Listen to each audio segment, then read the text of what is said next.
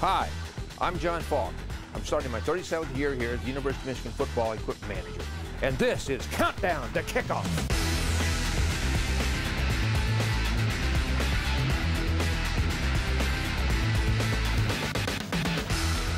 We're 30 days away from starting the 131st season of Michigan football. The players are off this week, resting before the start of camp on Monday. But the equipment staff has been hard at work getting ready for practice. At the beginning of each season, 20 some freshmen come in and they're fitted for their first time for the Michigan football headgear.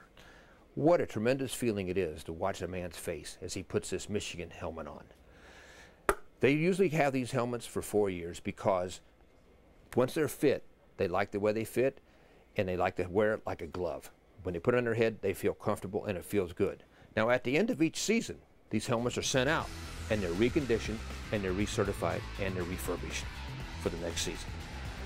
Our helmets, manufactured by Riddell, go to their facility outside Cleveland, Ohio, where a six-day process makes our winged helmet as good as new. Riddell recertifies 3,000 helmets a day in the summer and more than 850,000 in a year. We basically are cleaning it, disassembling it first, cleaning it, sanitizing it, then we're inspecting it, putting any parts that are necessary, and then we're reassembling it after we paint it um, to make sure that it's back the way you ordered it. Start to finish is probably about six days with Michigan because you have the uh, two coats of paint and we have to wait uh, in between. Each helmet is tested before and after, making sure all the safety standards are met.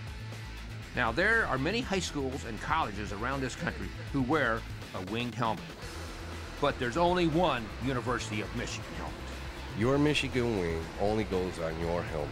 All the other Michigan wing helmets that are out there have a standard Michigan wing for high schools that we put on.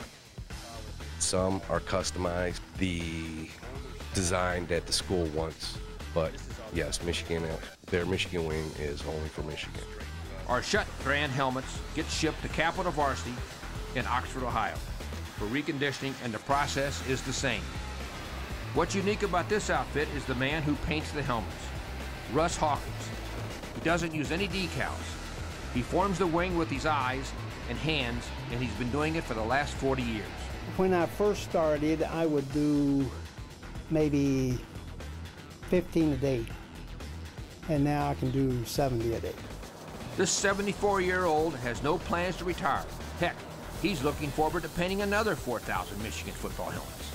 Their helmet is the most well known helmet across the United States.